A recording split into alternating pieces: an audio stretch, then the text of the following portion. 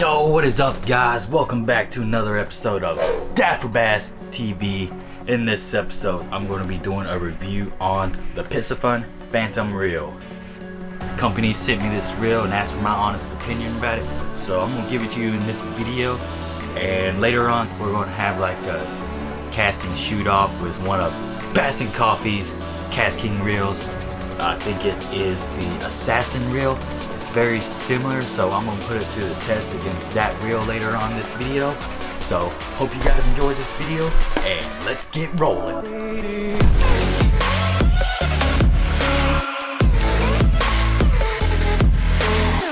Hope you guys enjoyed that little unboxing edit. So let's go ahead and talk about this reel for a little bit. This is the Piscifun Phantom Reel.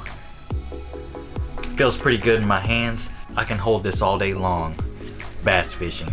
That's a plus. I think it is a low profile reel.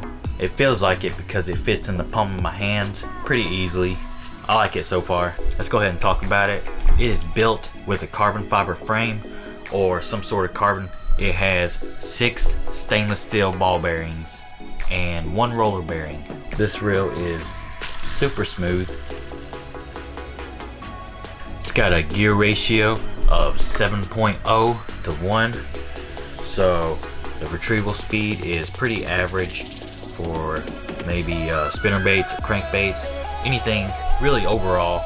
It's just one of those overall uh, gear ratios that you want. It's good for jig fishing.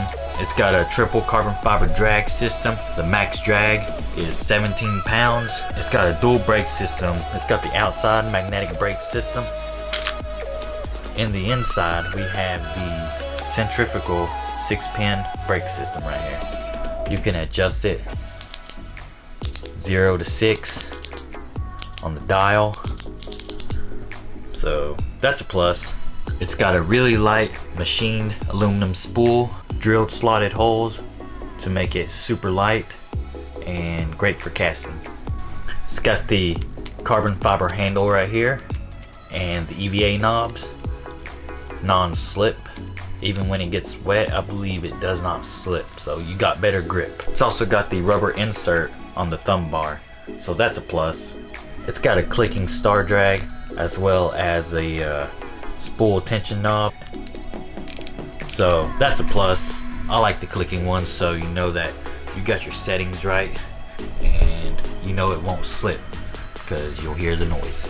That's pretty much it for the specs, but it does say it weighs in at about 5.7 ounces. So let's test that out really quick. Okay, we got a scale right here. Let's go ahead and power it on. Make sure it's in the pound and ounce mode. So let's take this reel. It said 5.7 ounces. So let's go ahead and weigh it. Okay, it's actually 5.6 ounces so it's actually lighter than what it says. Of course, all reels could be different. This could be missing a part. You never know. I like that it is lighter and not heavier, so that's a plus. Definitely, for sure. So it was 0.1 ounce lighter than what it claims to be, so that is a definite plus. Lighter reels are better. You can just uh, hold it all day long when you're fishing. So I give that a thumbs up. It does hold 120 yards of 30 pound braid or 120 yards of mono. That's more than enough for bass fishing. That's pretty much all I have to talk about this reel. So far I give it a thumbs up just for the feel of it. I'm gonna get this spooled up with some fluorocarbon and get it rigged on one of my new rods, the favorite Phantom series rod by John B. It is the rig series. What a coincidence, right? Bro, Phantom rod, Phantom reel. Bro, we're going outside and head down to the river and we're gonna see how far it can cast. So I'm gonna go grab B and C really quick and we're gonna put it against his KastKing Assassin reel and maybe one of my Shimano's or maybe one of Bass and Coffee's Lew's. You know how that video was. If you want to check out that video, Lew's versus Shimano, go ahead and click the card up above me here and it'll send you to that video. We'll put it up to the test, just a comparison. So I'm gonna spool this up with the same line. It's gonna have the same rod, so we will be good to go. Accurate. Let's go. Dab. Yo, what is up, guys? We're here at Watauga Lake. I actually came to Watauga Lake instead of going to the river because it was more open space and there is absolutely no one here but me. I'm gonna get these reels dialed in first and then we'll go ahead and start our casting variability with the Shimano DC7 I brought. Stay tuned because it may be a surprise to you. Got the Phantom with the Phantom rod and I got the Shimano DC7 with me. I'm gonna put it up to the test with these. Couldn't get BNC out here because he had to work. So we're not gonna compare it to the KastKing like I said, but subscribe to the channel and that'll come up soon. So here we go. I'm gonna set the camera down and see how far these will cast. Alright guys, I got this one dialed in and I'm ready to cast it. So this is the DC7 by Shimano and it's on the 7 foot favorite rod defender. I'm gonna go ahead and do two tries and we will measure both of them.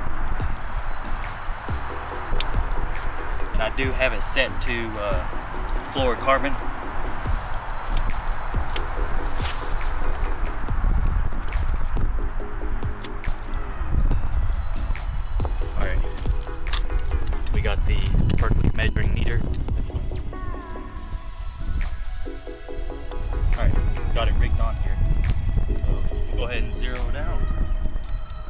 start reeling.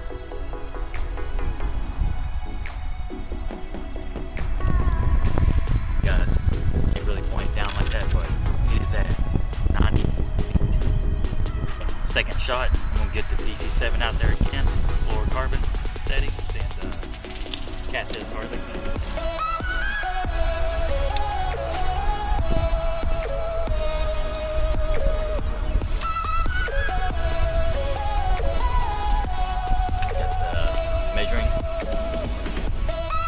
go ahead and start reeling it.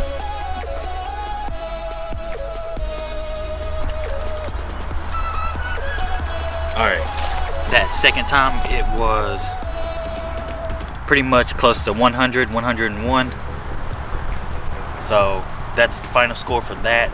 Now we'll go ahead and do the Piscifun.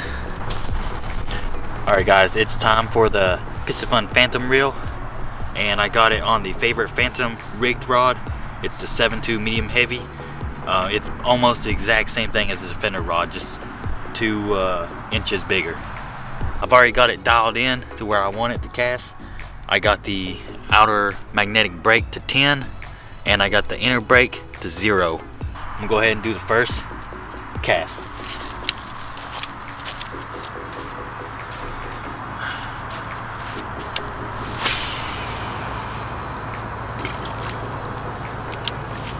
Alright, first cast, kind of bird nest a little bit, but it got itself out after that hit the water.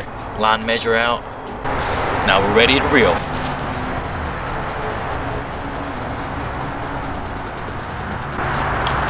Alright guys, you're gonna be surprised by this. 108. I reeled in 108 feet of line from that cast. That's pretty good. Um, let's go ahead and uh, take this off and then we'll do our second cast.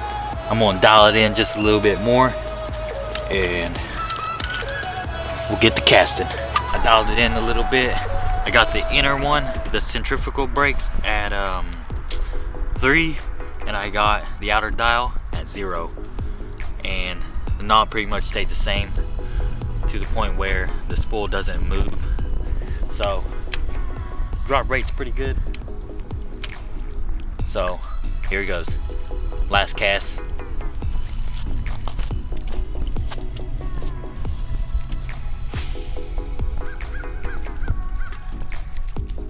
that one went way out there go ahead and measure it. Zeroed it out. Let's go. Start. Go ahead and start reeling. I think I launched that like a mile. And that, it did not create any bird nest that time. So if you guys ever buy this reel, go ahead and put it on those settings and it'll help you out. Both these reels have 12 pound line. So this is what we got right here. 110 feet. There you go. 110 feet. Furthest, the furthest I've casted today. We'll go ahead and do the DC-7 again just to show you that it was not a fluke. Same user casting. So this is 12 pound line on the DC-7. Go ahead and do that cast.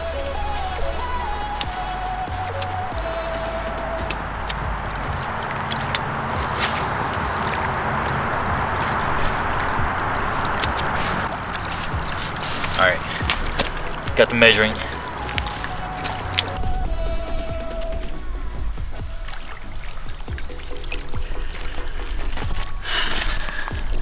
This one hit 99. I give this Piscifun the uh, casting test thumbs up. So let me know in the comments below if you guys would buy this reel. It is $70 on Amazon. But you can check it out down below in the description. There's a link to it. And there's also a link to their website if you want to know more about the reels or want to check out their other products. So hope you guys enjoyed this video and I will dab you in the next one. Keep fishing forward.